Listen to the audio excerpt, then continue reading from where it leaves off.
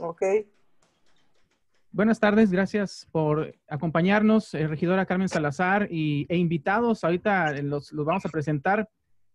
Gracias por atender la invitación de la página Plex para platicar sobre un proyecto que lo vimos ahí en redes sociales, regidora. Eh, nos pareció muy interesante porque es una actividad pues poco común y que a, veces se nos pasa, se nos olvida que no nada más en la tierra es donde se genera la contaminación, sino también en los océanos y está vinculado este, este trabajo del cual nos, nos, nos, gustaría platicar con usted, justamente con este tema de un, un proyecto de limpieza submarina. Bienvenida, así regidora. Es, así.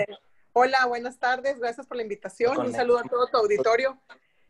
Este, la realidad que este proyecto nace dentro del marco del, del mes de septiembre, que es el, el, el mes internacional de limpiezas costeras. Este año, a causa de la pandemia, no se pudieron hacer las actividades este, como normalmente se hacen, pues de limpieza en las diferentes playas de toda la localidad, ¿no? Ensenada, el municipio de Ensenada tiene 1045 kilómetros este, de, de, costas, imagínate. Este, y y eh, practicando con, platicando con los grupos de buzos y su inquietud de mostrarnos lo que han encontrado en el fondo del mar, este, nace este proyecto. Es la suma de muchos esfuerzos tenemos, que le pongan en mudo mis compañeros. Tenemos este, tenemos ahorita programado hacer esta primera limpieza submarina oficial, obviamente. Los buzos generalmente cuando hacen sus actividades de buceo, pues como, como personas preocupadas por su entorno, pues van limpiando, ¿no? Por donde pasan. Pero en este caso se trata de un este, cementerio básicamente de llantas. Estamos hablando del área de eh, Campo Kennedy. Este, la idea más que nada es concientizar, concientizar a la población que todo lo que no disponemos correctamente, todos los desechos de los cuales no disponemos correctamente su disposición final, pues ter, ¿dónde terminan? Terminan en el fondo del mar, en las cañadas, en los arroyos. Este, vamos a hacer varias tomas submarinas para que la idea vea lo que está llegando al lecho ma marino, ¿no? Los alcances de la mano del hombre, ¿no? Que es el primer depredador del planeta. Regidora, ¿cómo, platíquenos cómo fue que surgió esta, este acercamiento, porque sabemos que está en comunicación y en trabajo en equipo con, eh, con los buzos, pero también con diferentes organismos, ¿no? Por ahí nos Así es, civil. Está, con nos, está nosotros Costa Salvaje, este, que también siempre ha tenido trabajos en cuanto a preservación de humedales en todo el país. Eh, Costa Salvaje, pues, eh, viene a patrocinar gran parte de los gastos que hay que solventar de este evento y sumarse más que nada con el mismo fino de, de, nosotros a través de mi, de mi Comisión de Ecología y Medio Ambiente que tengo como regidora, pues tratamos con un gran número de ambientalistas, de asociaciones diversas, interesadas y preocupadas por, por el medio ambiente. Entonces, salió la plática informal, fue una plática informal que tuvo una de mis asesoras con un, grupo de buzos preocupados y de ahí salió la idea de darle forma a este proyecto. Se ha sumado al evento Coca-Cola, se ha sumado Coral y Marina, se ha sumado la Secretaría de Marina, la API, eh, la Secretaría de la CES, la Secretaría de Economía y Sustentable y Turismo del Estado, eh, obviamente el Ayuntamiento, este, en todas sus áreas, eh, SOFEMAT, tenemos este, la acuática SEMA, que son los eh, donde dan las instrucciones de, de, buceo, y a la mar la tienda de, equipo de buceo también aquí en Ensenada. Y sobre la marcha hay más personas que se han querido unir y participar de diferentes grupos. La idea es de que esta inmersión submarina sea básicamente con profesionales, por eso no la hemos socializado tanto, porque obviamente es un trabajo de riesgo. Una cosa es el buceo de esparcimiento y una cosa es lo que implica un buceo de una limpieza de sacar cosas que están básicamente enterradas en el fondo del mar. Ah, justamente sobre eso le queríamos preguntar, porque nos parece una, vaya, tarea loable, sin embargo, se ve, se ve que es una tarea sumamente riesgosa y que requiere una alta, un alto grado de capacitación de los que la están realizando la, la limpieza. ¿Qué nos puede contar sobre las cuestiones técnicas? Eh, quizá podemos enlazar con, con, alguno de los buzos y también eh, la, los tiempos, cuándo empezó, cuánto tiempo va a durar y cómo se le está invirtiendo dinero, porque imagino que esto cuesta también, ¿no? Así es, aquí pues cualquiera de los muchachos, Jorge o Benjamín, que te platiquen más o menos la parte técnica ya en cuanto al buce, en cuanto a los buzos y los procedimientos que estamos utilizando.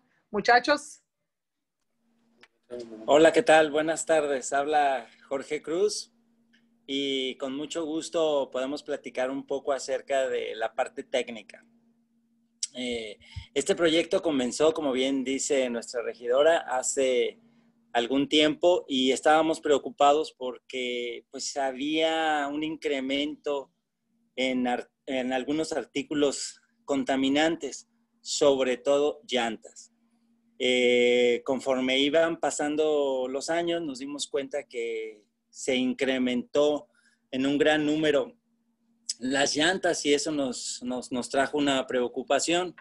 Y además de otros contaminantes eh, clásicos, ¿no? Que son las botellas, las bujías, eh, ropa, etcétera. Cuanta cosa que ah, se les ocurre tirar a la gente, pues llegaba al mar, ¿no? Entonces eso nos fue preocupando. Y bueno, afortunadamente este año con la colaboración de todos los antes mencionados, pues se pudo hacer este, esta limpieza. En cuanto al aspecto técnico, nosotros vamos a manejar una profundidad máxima de 60 pies, que son 18 minutos, 18 eh, metros, perdón, y vamos a manejar un tiempo máximo de inmersión de 40 minutos. Este trabajo ya se realizó días anteriores extrayendo algunas llantas que estaban enterradas o algunas otras que estaban a una mayor profundidad, de tal manera que en esta limpieza que se va a realizar el día 19 podamos extraer las llantas de una manera más fácil y sobre todo con mucha seguridad. Eh, el objetivo es que la gente que se meta, que, que está trabajando con nosotros, que está haciendo su educación continua aquí en la tienda, pues ya está preparada y que lo hagamos con una enorme seguridad. Eh, digamos que dentro del proceso técnico se van a hacer 10 grupos em, de cuatro eh, integrantes, cuatro integrantes buzos. Uno de ellos va a ser el que va a navegar, uno de ellos eh, va a tener una bolsa para la recolección y dos van a estar ayudando y recolectando. Una vez que se localicen las llantas, el grupo va a cambiar un poquito, el que lleva el rumbo toma la batuta para ah, seguir navegando y los demás a través de sus infladores y su chaleco, vamos a subir las llantas para no arrastrarlas y las vamos a depositar hasta, hasta la playa. Más o menos así, a grandes rasgos, ese es el proceso técnico. Eh, elegimos ah, hacer una inmersión no mayor de 60 pies, pues por, por seguridad. 40 minutos es un buen tiempo para poder sacar el mayor número de llantas, que nosotros calculamos alrededor de unas 30, ¿verdad, Benjamín? Más o menos aproximadas de las que tenemos contadas en esa zona, más las que están enterradas, que vamos a tener que estar buscando, que se van a ver en visibilidad, pero nada más hay que, hay que escarbar alrededor de la llanta para poder jalarla y así tener un poco más de llantas en lo que se ve ahí. Más aparte las latas, los cubrebocas que se pueden llegar a encontrar, eh, cuerdas, cabos, redes, eh, entre otras cosas, ¿no? Que tubería también, de tubería grande de PVC que también está en la parte de Londres, en esa parte. Y conforme vayamos haciendo el cuadrón de búsqueda, el patrón de búsqueda, que va a ser en línea recta, empezando de la playa, como si fuera así un barrido, vamos a ir encontrando con los compañeros todo lo que vayan sacando. Ya conforme vayan sacando, vayan juntando lo que van a ir almacenando, van a ir acercándose a la, a la orilla. Si los compañeros todavía continúan con aire, van a volver a entrar al agua, volver a hacer otra inmersión por la profundidad que es, puede el aire alcanzar para hacer incluso dos inmersiones. Todo en un tiempo no mayor a 40 minutos. Ok. ¿Y cómo, cómo es eh, la imagen del fondo marino? Eh, hablas de varias llantas, son bastantes llantas las que estás comentando, es decir, que hay mucha basura en el fondo. Pues desafortunadamente sí. sí. O sea, no es de que llegas y que vas a ver ahí este, las, las estrellas de mar y los, y la naturaleza y demás, no, en esa parte está con basura. Vamos a pues hacer llegar las fotos porque es una tristeza ver a las estrellas de mar este, arriba de las llantas, ¿no?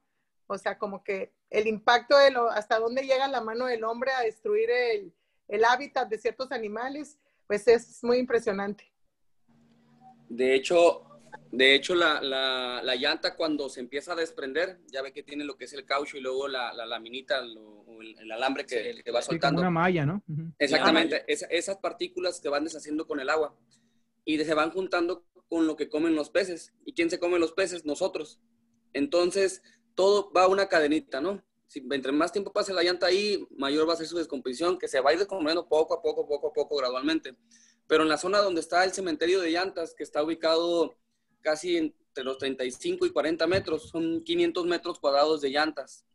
Llantas de tractor, de carro chico, carro grande, de todo. Y solamente en esa área parece un desierto. No hay ni, ni pulpos, no hay nada que se, que se oculte o que lo usen de refugio, nada. Lo único que llega a ver es un, es un pececito que se llama agobio fantasma, porque igual parece un cementerio y es, es un pez blanco que usa, se entierra ahí nada más y es todo lo que hay. De ahí en fuera, ni viejas, ni rocots, nada, nada. Es, está la, la, arena está ahora sí que aplastada, no deja crecer nada. Ni coral, nada. Y, esto es una situación que sigue, que continúa, es decir, se continúan arrojando llantas ahí. Eh, regidora, no sé si hay reglamentos que prohíban este tipo de actividades.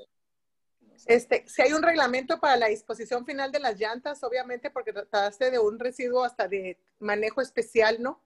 Pero pues la gente se le hace más fácil el camino a aventarlas que llevarlas a donde te las reciben. Es el camino fácil que al final del día pues nos repercute y nos afecta a todos. Ok, y, me imagino que en el caso de las llantas que mencionan de tractora, pues ahí no hay manera, ¿no? Esas sí están sumamente pesadas. Sí se puede sacar. Perdón, perdón, perdón. Sí, adelante. Sí se puede, sí se puede sacar, nada más que ya implica otro tipo de, procedimiento que obviamente va a ser uh, un poco más complicado y más costoso. Em, sí se puede sacar, pero sí, sí, sí lleva su, su tiempo y sí es un poco riesgoso. Por eso preferimos ahorita este, sacar todas las llantas, digamos que de RIN 18, RIN 19 hacia abajo, ¿no? Hasta RIN 20 creo que vimos, sí. Sí, más o menos. Hay para, todos.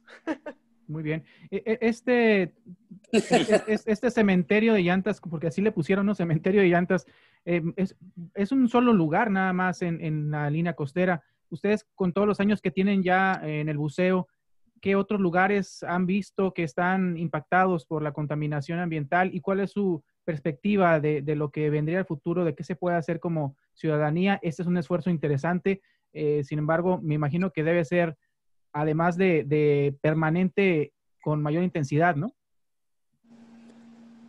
Pues sí, yo, yo creo, al igual que estuvimos platicando con la regidora y, con Benjamín y con, mucha gente que ha estado apoyando este proyecto, yo creo que lo más importante no es hacer una limpieza, sino más bien es empezar a educar a, a nuestra gente para que si vamos a un lugar no tiremos basura, este, recolectemos nuestra basura, este, si se nos hace chistoso o se nos hace interesante tirar una llanta, pues hay que pensar ah, antes de hacer eso porque parte de esa cultura y parte de esa educación que debemos adquirir es precisamente que todo lo que nosotros hagamos hacia el mar o todo lo que nosotros eh, impactemos hacia el mar, tarde que temprano nos va a repercutir.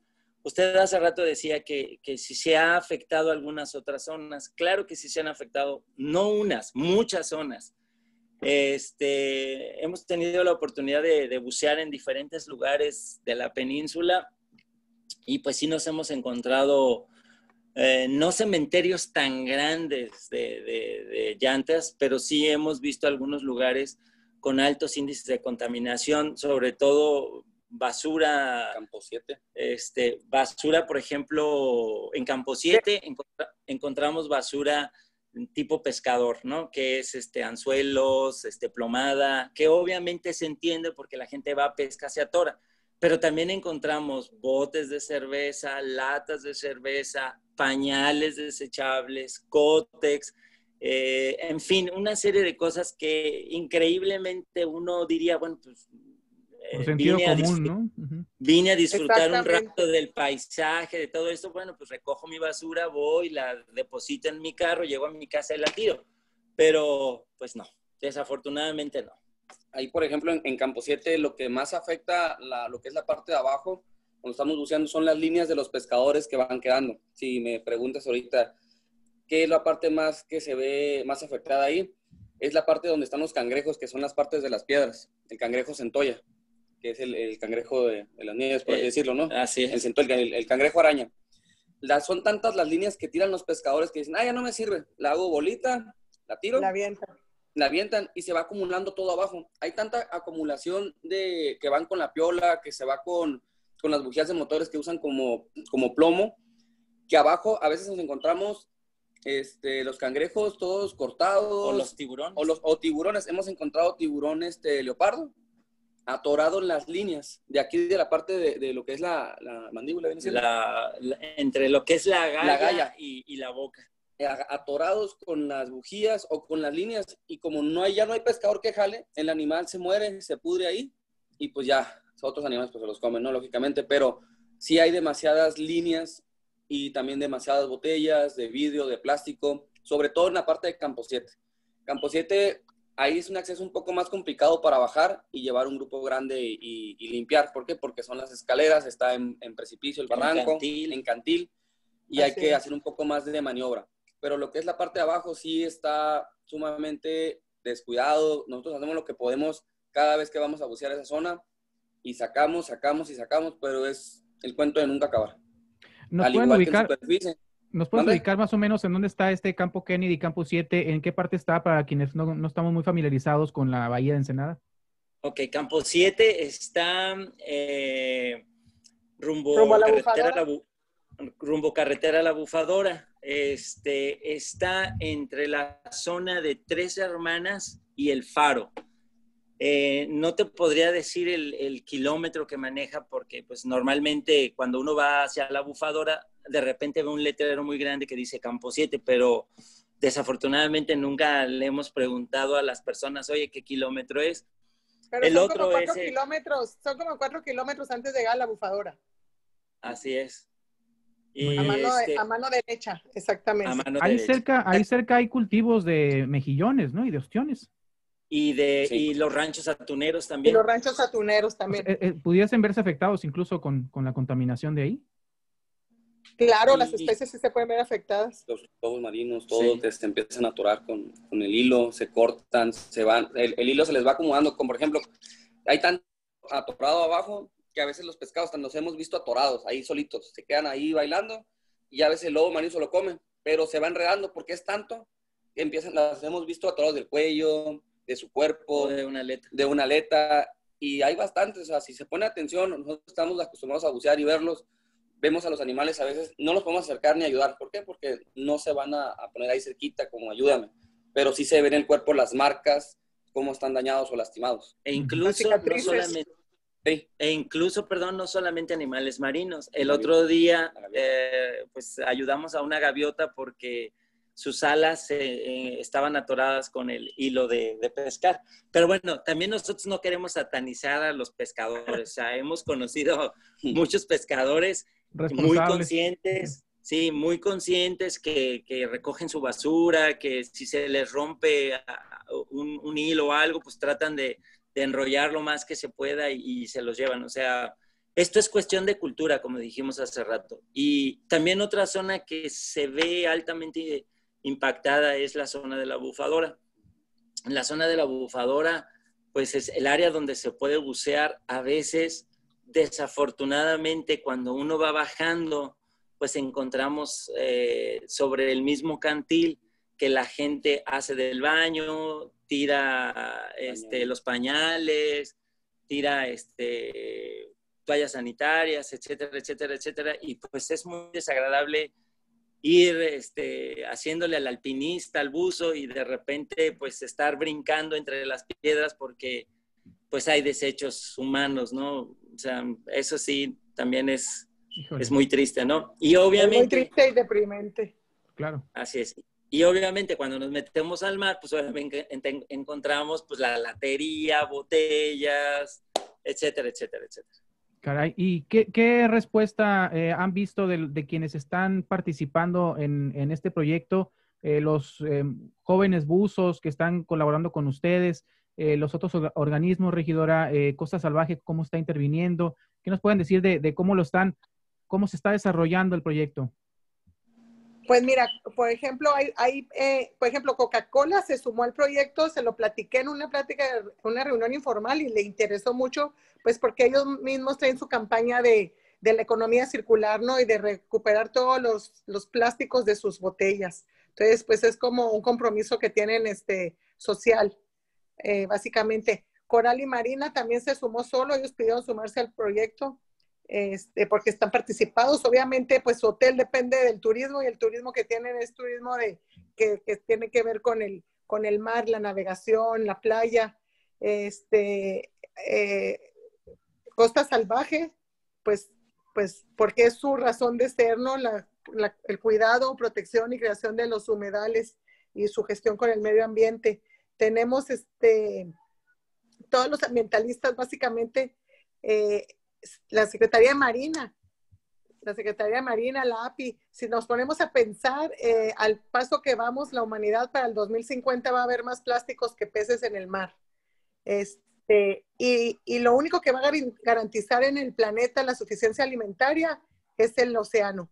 Entonces, si no cuidamos el océano, si no hacemos conciencia del impacto que estamos teniendo, eh, pues la, humanidad como tal vamos a estar hasta en riesgo de, alimenticio, ¿no? Y, por eso son muchas las, las asociaciones que se suman. Eh, por la conservación, por la de los ecosistemas, de la fauna, de la flora, pero más que nada por la supervivencia al final del día del ser humano. ¿Qué le han dicho al interior del gobierno municipal? Sus compañeros regidores, el alcalde ha tenido conocimiento de este proyecto, ¿cómo, cómo lo están percibiendo y qué apoyo le están brindando? No, pues la verdad el ayuntamiento nos ha brindado todo el apoyo en cuanto a difusión, en cuanto al apoyo para traslado del equipo de, de, de, perdón, no el equipo, los, los, todos los desechos que recolectemos. SOFEMAT, que es la Zona Federal Marítimo Terrestre, también va a participar activamente. O sea, es, un esfuerzo conjunto, porque realmente es la suma de pequeñas aportaciones de todos para lograr este, este objetivo final. Y como te digo, al final del día, la, la, el objetivo es la concientización. Eh, creo que vamos a tener un dron submarino entonces vamos a poder grabar todo el evento mucho mejor con las GoPros y eso es lo que nos encantaría que lo replicaran en un momento, ¿no? Hasta dónde está llegando hasta el alcance de la contaminación del ser humano y sus afectaciones. Pues sí, mencionaban 500 metros cuadrados, ¿no? De, de, espacio, lo que está lleno de llantas ahí, em, pues debe ser un, trabajo bastante arduo y sí, definitivamente, si no hay prevención, si no hay em, como esta acción previa de no tirar la basura, pues va a seguir, va a seguir igual o va, o va a estar peor, ¿no? Porque no pueden estar infinitamente metiéndose a, a sacar las llantas del fondo del mar. Exactamente, ¿no? Como dicen mis compañeros, este, mis instructores buzos, porque me dieron clases de buceo para poder hacer la inmersión, este, la idea no es limpiar, la idea es que no se ensucie, ¿no? Este, y luego está el refrán, ojos que no ven, corazón que no siente. Entonces, la gente no tiene conciencia de lo que está pasando abajo del mar. Entonces, esta sería una manera muy gráfica de representarlo y que la gente lo vea, ¿no? Este, que sean testigos de lo que hay. Perfecto. Em, Jorge o Benjamín, ¿a ustedes han participado en proyectos eh, como este anteriormente o es eh, primera vez? Eh, hemos participado en proyectos, pero normalmente los hacíamos entre nuestro propio grupo. Este, quiero aclarar también que, por ejemplo, la, la doctora Imelda, que es instructora de Mexicali, ella año tras año ha venido haciendo campañas aquí de limpieza en nuestras playas. Trae gente de Mexicali, invita a otras personas y a veces tenemos la oportunidad de sumarnos. En otras ocasiones no hemos podido coincidir, pero, pero sí hemos participado. Este, y normalmente durante todos los entrenamientos que nosotros hacemos, eh, siempre les decimos a los estudiantes que no hay que agarrar objetos, no hay que tocar los organismos y que si vemos una lata, una camisa o basura, que la tratemos de sacar. Ese es parte de nuestro proyecto o de nuestro objetivo, ¿no? La formación de usos seguros, competentes y capaces, pero también que, que cuidemos nuestro hábitat para que generaciones futuras pues también la disfruten. Hemos, visto incluso, por ejemplo, los que trabajan en operaciones de rescate en tierra, eh, que se, se dedican al senderismo, en un proyecto que traen ahí o una campaña de cero, cero residuos, ¿no? O algo así, de dejar cero marcas cuando vas a la naturaleza, más o menos pudiese. Correcto. Muy bien, pues eh, regidora, no sé, algo adicional que nos pueda comentar de este proyecto, entonces, eh, ¿se va a mantener todavía algunas semanas más? Sí, va a ser este sábado la primer, la, bueno, la primera etapa oficial del evento, aunque ya hubo varias eh, previas, y el, la clausura es el sábado 26 en Campo Kennedy. Este, todo empieza a las seis y media, siete de la mañana para hacer el conteo y muestreo de lo que se sacó, estar terminando a las 11 de la mañana y hacer público los resultados, ¿no? Porque tenemos que hacer una contabilidad de lo que se sacó para identificar la fuente o del origen. Básicamente son llantas, pero todo lo demás que encontremos, en- identificar el origen de esa basura, ¿no? Y como dice la campaña de, de- de- de los este, senderistas, ¿no? Es de no trace leave beh- behind, ¿no? No puedes dejar ni un trazo atrás. Correcto. Regidora, eh, ¿hay alguna manera en la que las personas que escuchen esta entrevista eh, y les interese involucrarse de alguna forma, se puedan involucrar? ¿Hay alguna forma? Mira, en, eh, en cuanto a la limpieza submarina, no. Sí va a haber limpiezas este, costeras en Playa Hermosa, en La Misión, en, en, este, en el área de Quintas Papagayo, del Mosquito. Pueden participar activamente, pero lo mejor que puede hacer la ciudadanía para, para participar es este, reciclar, separar y darle un correcto disposición final a todos nuestros desechos sólidos urbanos, ¿no? Esa es la principal que, que podemos aportar como ciudadanos para sumarnos a estas causas y evitar que existan estas campañas de limpieza subma- submarinas o costeras, simplemente que la gente se haga cargo de sus residuos. Con eso nos damos por satisfechos, pero cualquier este, persona interesada pues también puede a- eh, acercarse a SEMA si quieren clases de buceo, si quieren participar en otros eventos para el próximo año. Están nuestras puertas abiertas, igualmente la de la- mi regiduría y la de la Dirección de Ecología y Medio Ambiente ja, del Muy bien. Ayuntamiento. Puertas abiertas con, con gel antibacterial en la entrada, ¿verdad? Todos con cubrebocas. Muy ya bien. bajo el agua como quiera, pero Oh, aquí ah, qué bueno que mencionan los cubrebocas, que se encontraron cubrebocas ahí ya en el mar, ya empezaron, ya empezó ya con la basura de cubrebocas, caray En la- cubrebocas y, y guantes. Y guantes. En la primera expedición que, que estuvimos haciendo para chequear eh, fue en Quintas. Ya ve que hubo un momento que cerró Playa Hermosa y mucha gente se, se fue a, a Quintas Papagayo. Ahí fue donde encontramos la mayor parte de cubrebocas y pues lógico, ¿no? La, la hidratación de la cerveza. Pero sí, de- sí cubrebocas. Y en esta parte de Kennedy, que también por Playa Hermosa que ha estado cerrada, ha habido un incremento de, de también de basura y cubrebocas sobre todo. Híjole. Recordemos que, que el mar es de todos, todos debemos cuidarlo, todos debemos estar ahí para, para limpiar, apoyar y cuidarlo sobre todo, ¿no? Que es lo que nos da también trabajo, comida, y sin el mar, pues, ¿qué hacemos? Claro, no nada más es presumirlo, ¿no? También es cuidarlo. Bueno, pues muchísimas gracias, eh, regidora Carmen Salazar, eh, Jorge Galloso y Benjamín Rangel. Gracias por eh, compartirnos su experiencia en este proyecto muy interesante que le daremos seguimiento, obviamente. Esperemos esas imágenes de GoPro o, o- o de, los, o de los buzos o del dron, lo que sea. Y eh, pues estar presentes y darle cobertura al tema de la clausura del 26 para hacer el recuento de, de cuánto se alcanzó a sacar, ¿no? Así es, no, muchas gracias y te vamos a hacer llegar las imágenes para que las repliques, por favor, también nos sería de gran ayuda. Claro que sí. Muchísimas gracias. Muchas gracias. Buenas vemos. noches. Hasta luego. Buenas noches. Bye, bye.